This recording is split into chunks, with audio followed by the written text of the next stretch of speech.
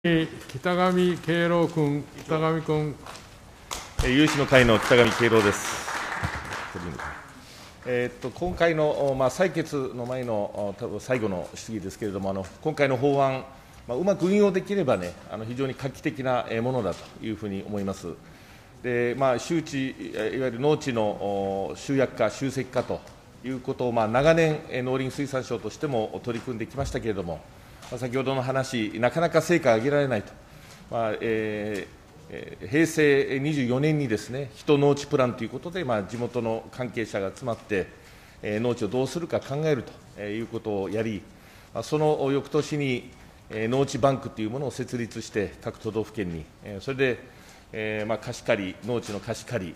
えー、まとめる、そういった作業を担ってもらうと、まあ、受け皿として、えー、機能するということをやり、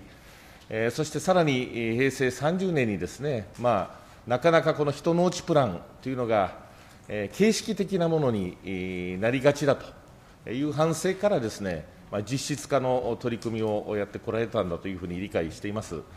でえーまあ、これについて、まあ、あの私も今、田村委員からいろいろありましたけれども、やはりこの運用をきちっとやるやって、ですねこの法案が目指しているような目的を達成するためには、やはりこの体制というものがね、極めて重要だと、まあ、具体的に言えば、この地域計画、それから目標地図というものをまあ策定する義務を、これ、義務ですからね、義務を担っている市町村並びに農業委員会が鍵になるというふうに思っています。ただ、あのこの前も参考人質疑の中でですね、農業委員会の方が2人、まあ、関係者が2人おられて、えー、横久米さんと、えー、それから稲垣さんとおられましたんで、まあ、せっかくね、彼らもあのおそらく遠慮して、えー、まあまああの、なんとかできますみたいな、えー、ことを言いながらもですね、えー、こっちからいろいろ質問すると、それなりにやっぱり問題意識は、えー、あると、えー、各地域ですね、それぞれ市町村の体制の違いもたくさん多様にありますし、農業委員会も同じだというふうに思います。そういう中で、特に稲垣委員さんがですね、参考人さんが、極めて具体的な提案をしていましたので、これをちょっと農林水産省の皆さんにぶつけていきたいというふうに思っています。まあ、一つはですね、あの令和元年、これ農地、人農地プランえ、を作るにあたりまして、先ほど申し上げたえ、どうしても形式化するような、まあ、作文しか上がってこない、まあ、しかじゃないですけど、作文が上がってくる、えー、可能性確率が結構多かったので、えー、農林水産省から通知を出してですね、この人農地プランを作るにあたって、工程表というものを作成してほしいと、その工程表の中にですね、えー、いわゆる市町村、それから、えー、農業委員会をはじめですね、まあ、この人のうちプランの作成に関わっている関係者、えー、まあ確か稲垣さんあの、テイクノートとか言ってましたけど、そのいいそちょっと意味が、えー、私も正確には把握しておりませんけれども、おそらく、まあ、それぞれの関係者の役割というものをね、えーまあ、明確化するという趣旨だというふうに理解しておりますが、えー、こういったことを、まあ、今回の、えー、法案が、えー、通った場合にですね、同じようなことを農林水産省から発信してほしいという話でしたが、これについてどのように受け止めておられますか？三吉経営局長。お答えいたします。今回の改正法案におきましては、地域の話し合いに基づいて地域計画を定め、その中で地域の農業の将来の在り方や目指すべき将来の農地利用の姿であります目標地図を作成をし、それを実現すべく農地バンクを活用して農地の集約化等を進めていくこととしております。特に地域の話し合いにおきまして、市町村が農業者、農業委員会、農地バンク、農協、土地改良区、その他の区域の関係者による協議の場を設けまして、農業の将来の農業の在り方などを話し合うこととなりますことから、これらの関係機関が緊密に連携をして取り組むことが重要と考えております。ご指摘の令和元年6月の通知におきましては、市町村が関係機関の担当者を明確化することなどを推進していたものと承知をしておりますが、今回の見直しの中で、今申し上げたように、関係機関の連携を推進することが重要でございますので、えー、協議の場や地域計画の策定にかかる取り組みの手順などに加えまして、それぞれの関係者の、関係機関の担当者を明確化するなど、マニュアルにしてお示しをして、各地域において円滑に取り組んでいただけるようにしていきたいと考えております北上敬郎君。はい、ありがとうございます。えーまあ、あの担当者というものを明確にすればですね、まあ、それなりの意識というものが、えー、発生すると思いますのであのその通りにお願いしたいというふうに思います、えー、もう一点稲垣参考人がおっしゃってたのはですね京都府の宮津市の取り組みを参考に出されましてえー、まあ、農政部局と、それから農業委員会の事務局、まあ、彼の言葉で言えばワンフロア化っておっしゃってましたが、まあ、おそらく同じ建物の中に、え、同じ階にですね、えー、そのそれぞれ、えー、農政部局と農業委員会の事務局が、えー存在まあ、設置をしてですね、そして、まあ、物理的に連携を、えー、深めるというような趣旨だったというふうに思います。でまあ、あの物理的にできるのは、まあ、これ、地域によっていろいろ、えー、あるというふうに思いますけれども、まあ、少なくともですね、あのこの2つの組織、極めてこの地域計画、目的地図ですか、あの目的地図を策定するのに、えー、中核になりますので、この連携というものをやっぱり農林水産省としても促進をすることが非常に重要だというふうに思いますけれども、あのいかがお考えでしょうか。三吉経営局長。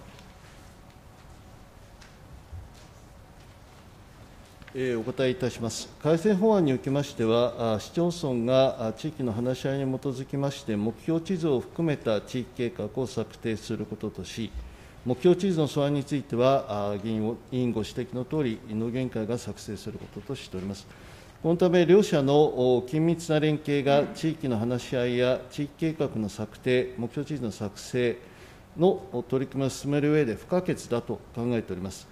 地域におけます農政の推進にあたりまして、市町村の農政部局と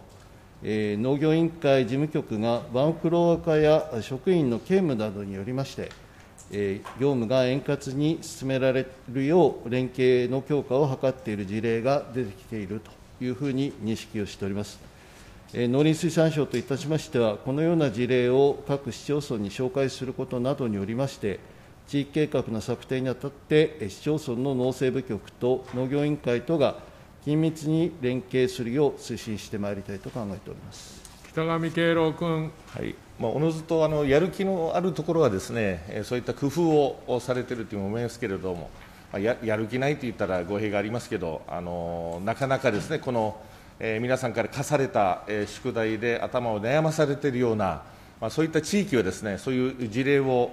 えー、参考にしながらですね、えー、いろんな取り組みを推進することが可能になるというふうに思いますので、あのぜひその辺の、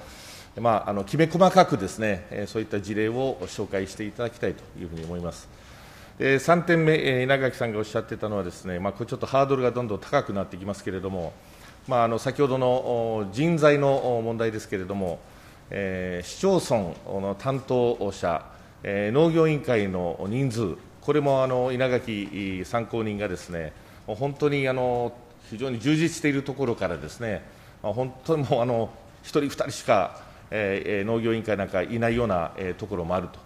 え、担当課もですね私はあの私、京都市が地元ですけれども、ま、京都市みたいな、え、ところでもですねやっぱり農業委員会というのはかなり、人員を削減されて、いると、まあ、特に、都市近郊型の地域だから、そうなんだそういう面もあるんだというふうに思いますけれども、まあ、そういった中でですねあのやっぱり人員を増やすようなこれ予算が必要だというふうに思いますけれども、人員を増やすような取り組みというものを、えー、まあ、あの稲垣さんは、まあ、これ3年後、まあ、大体目処として3年後ぐらいには、えー、各市町村が、えー、その地域プランというものを作っていかないといけないという義務ですから、まあ、その集中期間という設定をしてですね、まあ、その間でも、この人員の増員というものを図るべきだという話でしたが、これについてのお考えを伺いたいと思います三吉経営局長。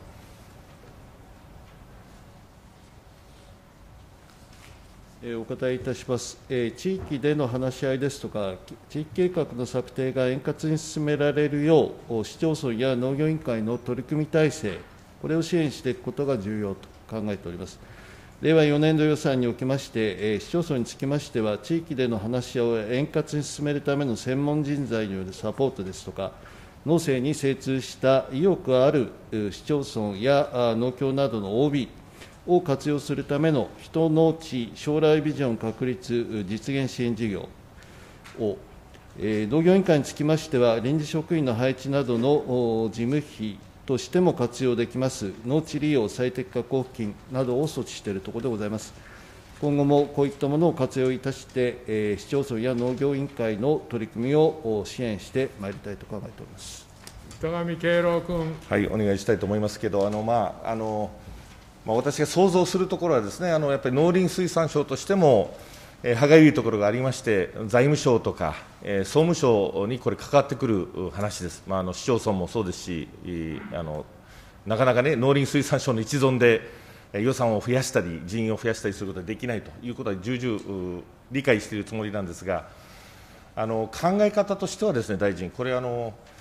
要は、えー、市町村農業委員会に、まあ、義務を課すわけですね、こういう仕事をすると、まあ、計画を作って、えー、農地の集約化、集積化を図ると、でただその、権限を与えずにですね、ただ義務だけ課すというのは、これはあの制度としてやっぱりおかしいと、あの権限はもちろんあの、いわゆる紙の上の権限というか、そういうもの、それはあのもちろん、この法律で整備されているというふうに思いますけれども、その権限を現実に行使をするための人とか情報とか予算とか、これはもう本当はあの一体でなければいけないというふうに思います。でこれがですねあの、まあ、どこまで果たされているのかあの果たされるのかというのは、まあ、今後、推移をやっぱり見ていかないといけないというふうに思いますけれども、やっぱり総務省や財務省にもですね、えー、優先順位というものがあると、この国の政策でも。この食料を守るというのは最も大事なことで、ますます国際政治がこのような混乱をきたし始めているときにですね、国民をにあの飯の種というものを確保するというのが、極めて国家の政策としてもですね、防衛とかこういうのも重要ですけれども、これをやっぱり優先順位として高めてですね、皆さんがこういう法案を出されて、その裏付けとなるですね財源とか、人材というものをしっかり確保すると、これは内閣全体の話ですけれども、こういったことをあの答弁は結構ですので、大臣にも機会があれば、またあの発言をしていただきたいというふうに思っています。でえーまあ、あのちょっと個別の質問に移りますと、戻りますと、えー、先ほど局長さんから、えー、農地最適化、えー、交付金ですか、最適化、えー、交付金だったと思いますけれども、これ、についてもですね、あの参考人から、意見がありまして、まあ、一つはその、まあ、素晴らしい制度だと、しかしなかなかその使われていなさそうだと、あの豊田市の横久米さんなんかは、非常に有効に使わせてもらっていると。ただこう、周囲を見ますと、他の農業委員会では使われていないところが結構あると、そういった意味では周知徹底というものが非常に重要だというふうに思いますけれども、えー、この辺の取り組みについて、えー、あの教えていただきたいと思います三吉経営局長。えー、お答えいたします。えー農地利用最適化交付金でございますけれども、これにつきましては、全国農業会議所と連携をいたしまして、都道府県農業会議に対して説明を行うとともに、都道府県を通じて市町村に説明を行うことを通じて、周知をしてきているところでございます。この交付金につきましては、令和3年度予算まで推進員等の報酬のみに使途が限られていたこと、え、成果実績に重点を置いていたことなどから、農業委員会において見直しを求める声がございました。これらの声を踏まえまして、本年度予算から委員の報酬に加えて、新たに事務費にも活用できるようにして、この中で臨時職員の配置等も支援できるようにし、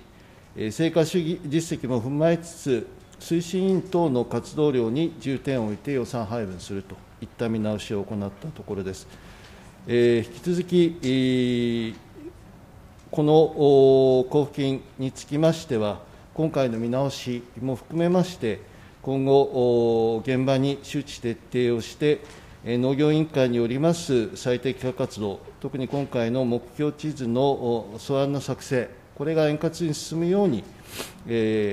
本交付金なども活用して、検討を進めるということを進めていきたいと思っております。北上敬郎君。えーありがとうございます。あのこれ農林水産省に限らずですね、他の役所の補助金もですね、そんな補助金あったのかと、あの業界からも、あるいは各会社とかですね、あの個人からも言われることがありますので、あのかなり評価が参考人の中では高いということですので、ぜひこれを全国にあの普及していただきたいというふうに思います。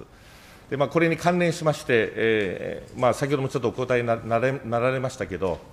えーまあ、あの普及の話と、もう一つはその補助金としての使い勝手の問題で、まあ、これは稲垣参考人が、えーなかなか使い勝手が難しいという中で、えー十分な使い切りができていなかったと、まあ、あのもちろんこの令和4年度の予算で、農水省が、えー破格の対応を、えーされたというふうにも、えーおっしゃってましたけれども、まあ、これについて、えーもう一回あの、分かりやすくご説明いただきたいと思います。三吉経済経営局長。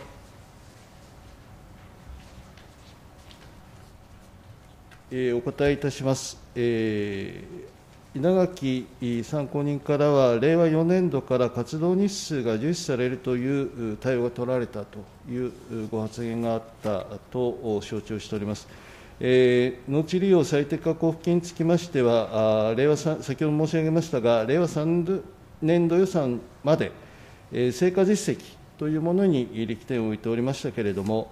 平成令和4年度予算から成果実績も踏まえつつ、推進員等の活動量に重点を置いて予算配分をするといった見直しをしたところでございます。この見直しによりまして、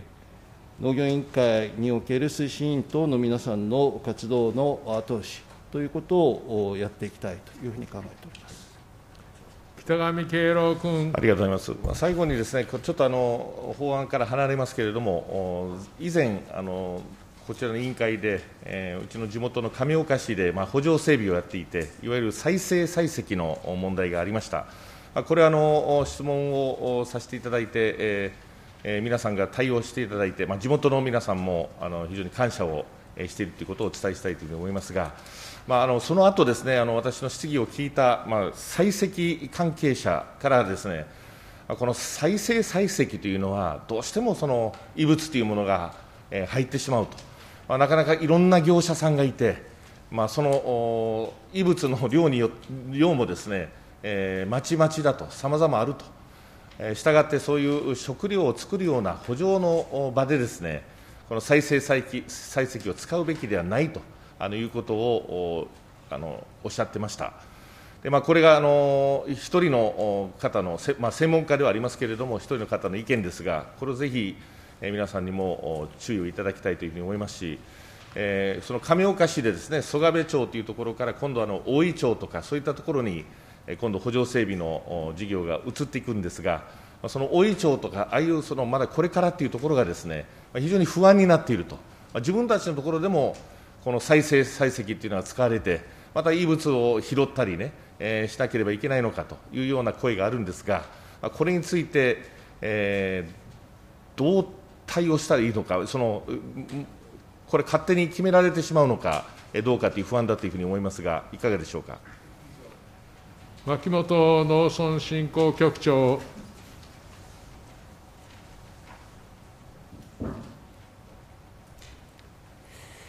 お答えを申し上げます。えーこの国が行いますこの直轄事業におきましてはですね、建設リサイクル法等に基づきまして、再資源化された建設資材の利用を促進するということとなっておりまして、工事におきまして、この再生採石を利用するなど、再生資源の利用の促進に努めているところでございます。一方、この補助内の農道でですね、土砂等舗装を採用する場合のですね、採石につきましては、基準書等におきまして、その再生採石の使用に関する規定がないところでございます。このためですね、再生採石ではなくてですね、新材を活用することも可能ということでございますけれども、ただその場合ですね、この地元農家の総意といたしまして、費用の増加、整備内容、水準についてですね、同意を得る必要があると認識をしているところでございます。まいずれにいたしましても、この地元農家をはじめとする関係者の皆様方のご意見をよく伺いながら、事業を推進してまいりたいと考えております。北上敬郎君。はい、もう終わります。あのありがとうございます。あのいわゆる選択をすることはできると、まあ、費用はいろいろ負担はかかってくるけどということですので、まあ、それを伝えていきたいと思います。ありがとうございました。